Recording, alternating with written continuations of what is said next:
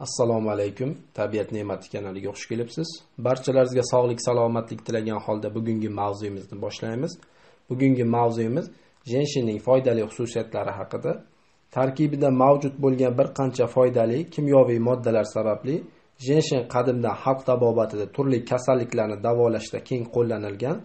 O'simlik ildizi alkaloidlar turli shiralar c vitamini oltin gugurt va fosfor xushbo'y moddalar shuningdek mikro va makro elementlar mavjud.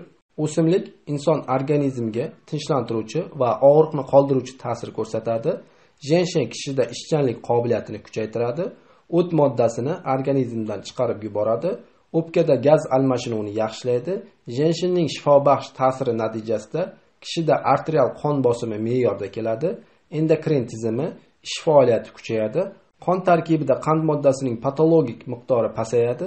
Jenshin asabiylashish siqilish tashvishlanish hollarida tinchlantiruvchi ta'sir ko'rsatadi. O'simlikni aqliy va jismoniy zo'riqishda iste'mol qilinadi. Jenshin qon shakllanishi va xotirani yaxshilaydi. Moddalar almashinuvi va yurak qon tomir faoliyatini me'yorga keltiradi. Jenshin ko'rish qobiliyatini yaxshilovchi jarohatlarni bitirishga yordam beruvchi og'riqni qoldiruvchi asab tizimini tinchlantiruvchi o'simlik hisoblanadi. Jenshin organizmni erta qarishiga yo'l bermaydi. Bu o'simlik immunitetni kuchaytiradi. Tanadagi ortiqcha yog'larni erishiga yordam beradi. Xalq tabobatida ham jenshinli damlama qaynatma quritilganini yanchib iste'mol qilinadi. Jenshinli choy inson salomatligiga ajoyib ta'sir ko'rsatadi. Bunday choyni tayyorlash uchun quritib yanchilgan jenshin ildizi ustidan qaynab turgan suv quyiladi.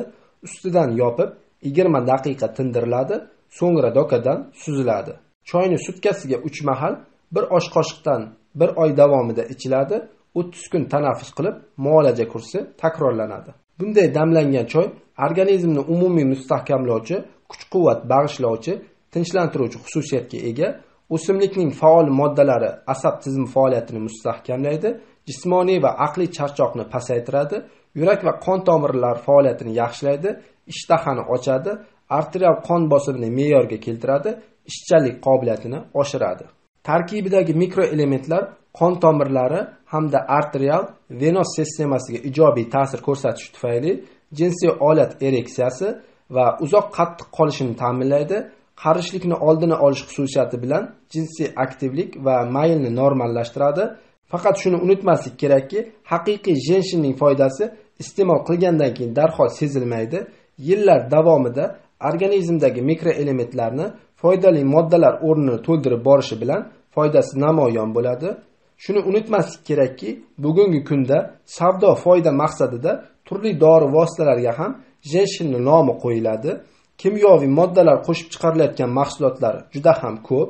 Ularni ajratish juda oson. Agar siz qabul qilganingizdan keyin o'ttiz qirq daqiqa yoki bir ikki soatda ta'sirini sezsangiz demak bunda kimyoviy modda bor degani. Aslida kimyoviy moddaga qarshi emasmiz faqat bu ko'plab mahsulotlarga kimyoviy moddalar kunlik dozadan ham yuqori bo'lishi ilmiy laboratoriyalarda isbotlangan.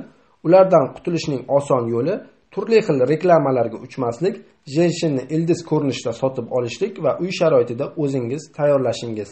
E'tiborlaringiz uchun rahmat. Xayr salomat bo'linglar. Har qanday mahsulotni iste'mol qilishdan avval shifokor maslahati bilan maslahatlashib ish ko'rgan maqsadga muvofiq. Doim sog' va salomat bo'linglar.